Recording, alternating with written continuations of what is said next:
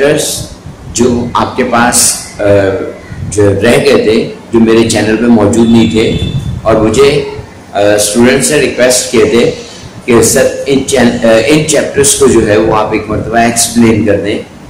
تو میں اس کو جو ہے وہ ابھی تھوڑا سا اس کی سمری کو ایکسپلین کر دیتا ہوں۔ ان چیپٹرس میں سب سے پہلے جو تھا، وہ تھا space ship one second year کا آپ کے پاس یہ چیپٹر ہے۔ اور اب اس کی جو ہے نا، وہ میں آپ کو سمری اردو میں ایکسپلین کر رہا ہوں۔ کہتے ہیں پروفیسر وٹ نے ایک مشہور سائنسدان تھے۔ انہیں کائنات اور خلائی سفر میں بہت گہری دلچسپی تھی۔ اس نے خلائی ٹیکنالوجی کو فروغ دینے کے لیے بہت زیادہ تحقیق کر کے رکھی ہوئی تھی۔ انہوں نے ان کو مارس اور وینس کا سفر کرنے کی بھی بہت زیادہ خواہش تھی۔ اپنی کوششوں کی بدولت وہ خلائی سفر کے لیے چاند پر پہنچے۔ پہنچنے کی غرض سے ایک خلائی جہاز تیار کرنے میں کامیاب ہو گئے۔ وہ اپنے دوستوں یعنی ولیم، لی اور ہیری کے ہمراہ چاند کی طرف سفر کر رہے تھے۔ ولیم، لی خلائی ٹیکنالوجی کے حوالے سے ایک کامیاب انجینئر تھے، جبکہ ہیری ایک نوجوان تھا، جسے پروفیسر وٹنی کی بیٹی کیتھرین سے محبت تھی۔ کیتھرین اور اس کی شادی ہونے والی تھی۔ ولیم لی پروفیسر ویٹنی کی طرف سے ملنے والی ہدایات کے مطابق خلائی جہاز کو کنٹرول کر رہا تھا۔ خلائی چاند کا سفر خلائی جہاز کی چاند کی سطح پر خوشگوار لینڈنگ کے ساتھ ختم ہونے والا تھا۔ خلائی جہاز کے چاند کی سطح پر اترنے کا وقت قریب ہی تھا کہ پروفیسر بیٹنی گھبرائے ہوئے اپنے ساتھیوں کے پاس آئے اور انہیں بتایا کہ اس نے ایک ڈراؤنا خواب دیکھا ہے کہ زمین پر جنگ شروع ہو گئی ہے۔ پروفیسر بیٹنی اور ہیری دونوں پہلے سے ہی کیتھرائن کے بارے میں فکر مند تھے اور انہوں نے پہلے کیتھرین سے ٹیلی فونک رابطہ کرنے کی بھی کوشش کی۔ لیکن نہ تو ٹیلی فونک رابطہ ممکن ہو سکا اور نہ ہی ٹیلی ویژن اسکرین پر کسی قسم کا کوئی اشارہ موصول ہو رہا تھا۔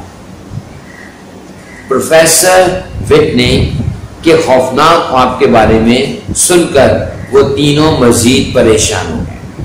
انہوں نے زمین پر کیتھرین سے رابطہ کرنے کے لیے ایک مرتبہ پھر کوشش کی، لیکن وہ کامیاب نہیں ہو سکے۔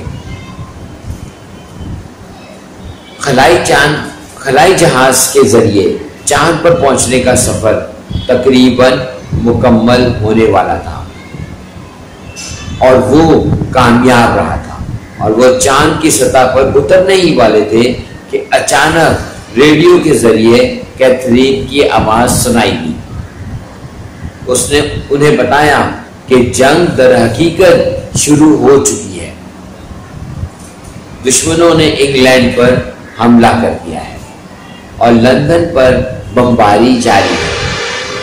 اس نے مزید بتایا کہ ان کی ماں یعنی پروفیسر بٹنی کی بیوی، اس خوفناک حملے کے دوران ہلاک ہو چکی ہے۔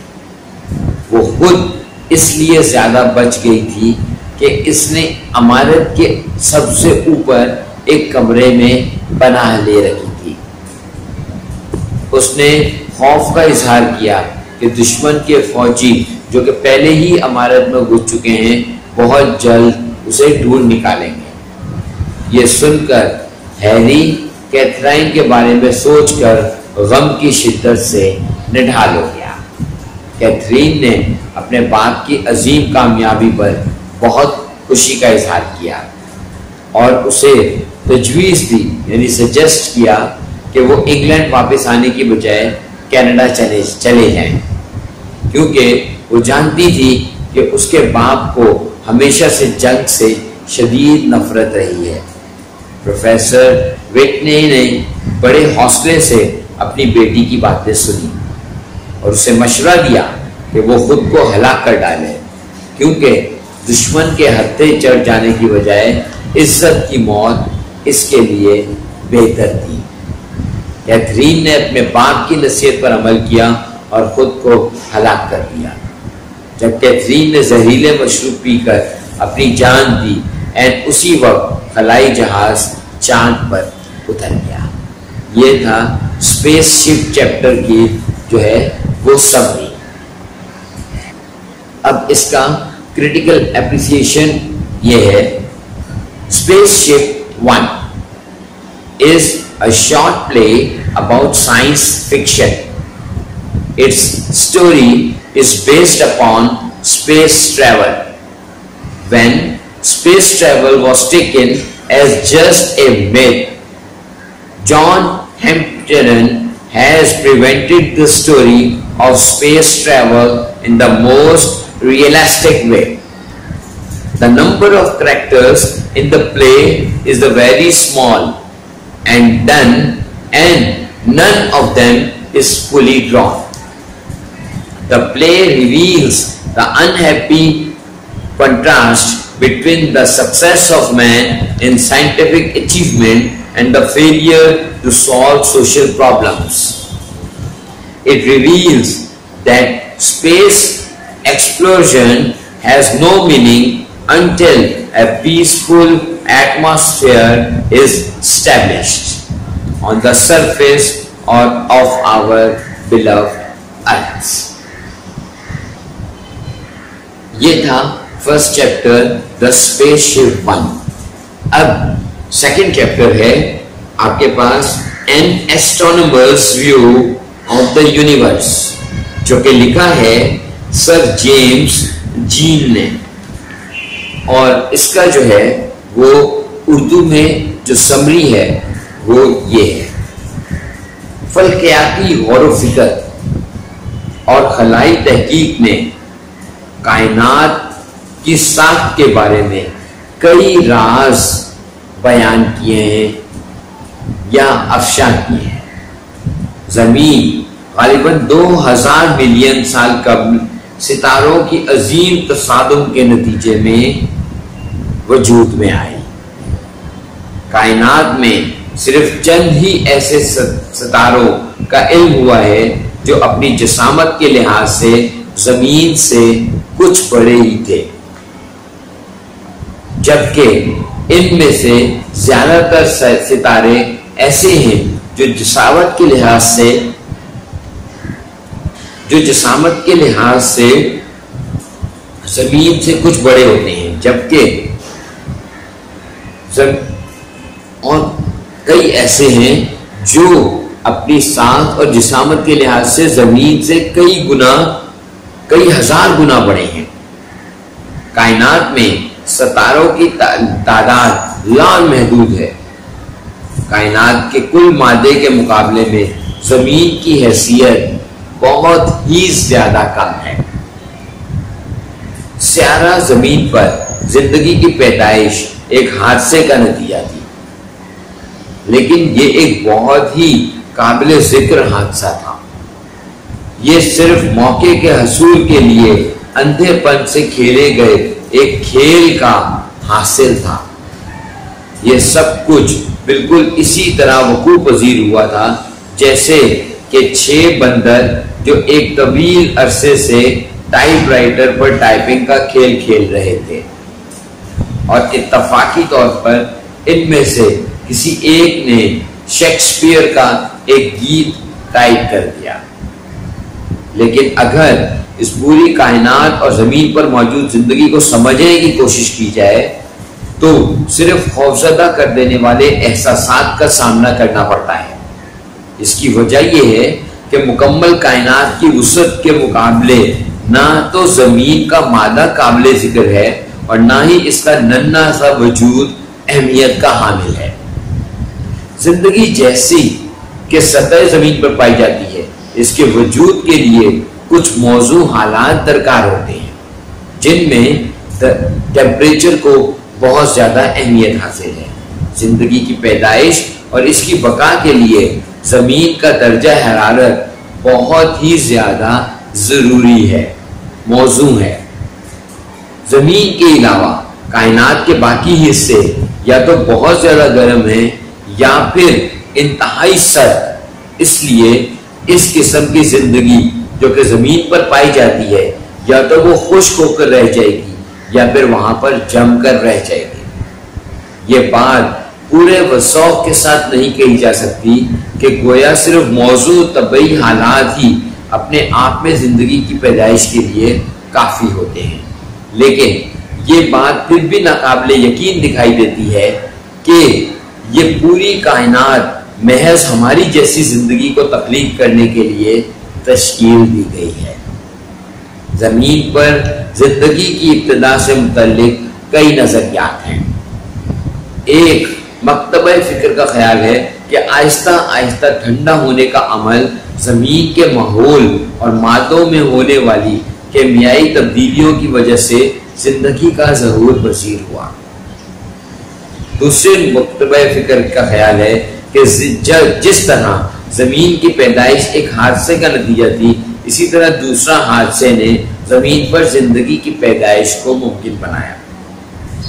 لیکن یہ ایک حقیقت ہے کہ ایک جاندار جسم کے اجزاء مکمل طور پر عام طرح کے ایٹموں پر مشتمل ہوتے ہیں، جیسے کہ کاربن، ہائیڈروجن، نائٹروجن، آکسیجن اور پانی، واٹر۔ اگر حیاتیاتی کیمیائی سائنسدان اس قابل ہو جاتے ہیں کہ وہ ایٹموں کی بنیادی گروہوں کی وہ ترتیب حاصل کر لیں، جو کہ وہ زندہ کلیوں میں پرسرار طور پر بناتے ہیں تو پھر ہم زندگی کے بارے میں سمجھنے کے قابل ہو جائیں گے اب اس کا کریٹیکل اپریسیشن ہے sir James Jeans is basically a scientist but this essay reveals his skill of writing. So he explains here the subject of his own interest, but, but he does not make the readers confused. تو through this complex idea about science and universe he points out the idea about the universe and about the life existing on the earth in the language of a common man یہ آپ کا second chapter complete ہوا جو کہ ایسٹرونس کے view سے سر James Jain نے اس کو اپنے خیالات کے مطابق یہ کائنات کیا ہے، اس کو ایکسپلین کیا اب آپ کے پاس چیپٹر نمبر ٹین ہے لائف ان دا یونیورس اب کائنات میں زندگی یہ لکھا ہے جے اے وی بٹلر نے۔ اب میں آپ کو جو ہے، وہ اس کی تھوڑی سی سمری کو ایکسپلین کر دیتا ہوں کہ بٹلر صاحب کے نے جو ایکسپلین کیا ہے لائف ان دا یونیورس وہ اپنے نظریے سے یونیورس کو کیسے دیکھتے ہیں؟ اس کائنات میں تقریباً ایک بلین کہکشائیں پائی جاتی ہیں۔ ہماری اپنی کہکشاں میں تقریباً ایک بلین سورج موجود ہیں۔ سر جیمز جینز اور ان کے ہم اثر سائنسدان زمین پر پائی جانے والی زندگی اور زمین پر پرے کائنات میں موجود زندگی کے فرق کی وجہ سے بہت زیادہ متاثر ہیں۔ ان کا خیال تھا کہ زمین جس پر جس طرح کی زندگی پائی جاتی ہے، اس کی سب اقسام کے لیے یہ پوری کائنات بہت غضبناک اور غیر مناسب ہے۔ ان کا یہ بھی خیال تھا کہ یہ کائنات بنیادی طور پر زندگی کو پیدا کرنے کے لیے وجود میں نہیں آئی۔ بعد میں کائنات کی ابتدا اور اس کے مقصد کی بابت اس قسم کے نظریات تبدیل ہوتے چلے گئے۔ اور ماہر فلکیات یہ یقین دلانے لگے کہ یہ کائنات بنیادی طور پر زندگی کی پیدائش کے لیے موضوع حالات نہ صرف زمین پر پائے جاتے ہیں، بلکہ یہ دوسرے سیاروں پر بھی موجود ہیں۔ ہائل اور لکنٹن نے جو نظریات پیش کیے ہیں، ان کے مطابق سیارے سورج سے ایک عظیم دھماکے کے بعد تخلیق ہوئے۔ ایک محتاط اندازے کے مطابق ہماری اپنی کہکشاؤں میں تقریباً ایک ملین سیاحتی نظام یعنی پلانیٹری سسٹمز دھماکہ خیز سیارے سپر نووا کے ذریعے وجود میں آئے ان میں سے کئی ایک میں سیاروں پر زندگی کے لیے درکار ضروریات کی موجودگی کا واضح امکان پایا جاتا ہے۔ یہ بھی ایک حقیقت ہے کہ بہت سے ستاروں میں وہ تمام عناصر موجود ہیں جو زمین پر پائے جاتے ہیں۔ یہ ممکن ہو سکتا ہے کہ دوسرے سیاروں پر جو زندگی موجود ہو، وہ اس زندگی سے بالکل مختلف ہو۔ جیسی اس زمین پر پائی جاتی ہے۔ یہ وہاں پر کئی دوسری صورتوں پر موجود ہو سکتی شاید غیر تصوراتی اور غیر حقیقتی شکلوں میں۔ چونکہ انسان دوسرے سیاروں پر سفر کرنے کے قابل نہیں ہے، اس لیے کائنات میں پائی جانے والی زندگی کے بارے میں قیاس اور اندازوں کے ذریعے ہی صرف پیشن گوئی کرنا ہی ممکن ہے۔ یہ وقت کی اہم ضرورت ہے کہ سائنسدانوں کو بڑی اشیاء کی دنیاؤں کے مطالعے کو چھوڑ کر چھوٹی چھوٹی اشیاء کی دنیاؤں، جیسے کہ مولیکیول و ایٹمی سٹرکچرز سیلز بیکٹیریا اور وائرس وغیرہ پر تحقیقات کرنی چاہیے۔ رابرٹ ہک اور اے وی لیون ہک اس زمن میں اپنے کام کا آغاز کر چکے ہیں۔ ایک طویل عرصے سے یہ بات قابل غور رہی ہے، اس تمام تر زندگی کی اصل یکسانیت پر مبنی ہے۔ ایک یونانی فلسفی ایم پی ڈوکلس نے انکشاف کیا تھا کہ بال پتے پرندوں کے موٹے موٹے پر اور ٹانگوں کے چھلکے، یہ سب بنیادی طور پر یکساں ہیں۔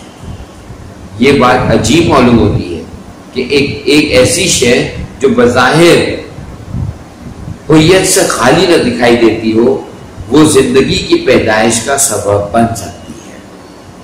جبکہ مناسب حالات پیدا کیے جائیں، جیسے کہ ایک بیج کو جب زمین میں بویا جاتا ہے، تو اس سے پتوں اور پھولوں کے ہمراہ ایک پودا نمودار ہوتا ہے۔ اسی طرح انڈے کی سفیدی اور زردی سے ایک چوسا نمودار ہوتا ہے۔ جس کی ہڈیاں گوشت اور پر ہوتی ہیں۔ علم کیمیا ایک شاندار سائنس کے طور پر نمودار ہوئی یعنی کیمسٹری۔ یہ علم مادی اشیاء کی نوعیت، ترکیب اور تبدیلیوں سے متعلق ہے۔ یہ عناصر امیزوں اور مرکبات کے بارے میں معلومات فراہم کرتا ہے مطلب ایلیمنٹ وتھ کمپاؤنڈ کے بارے میں۔